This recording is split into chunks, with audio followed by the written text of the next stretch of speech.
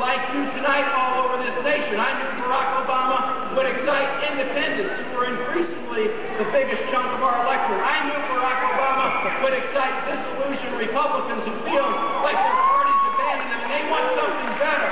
I knew Barack Obama would excite young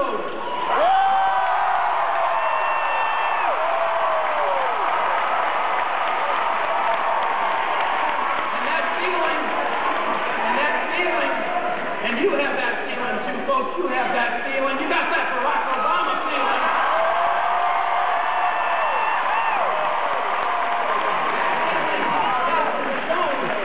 In this primary and caucus season all across the nation. Just look at last Tuesday night,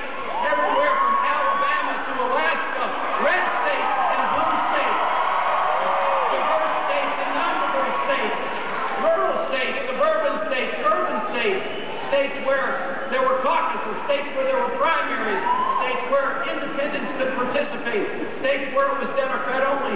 13 out of 21 states on Tuesday night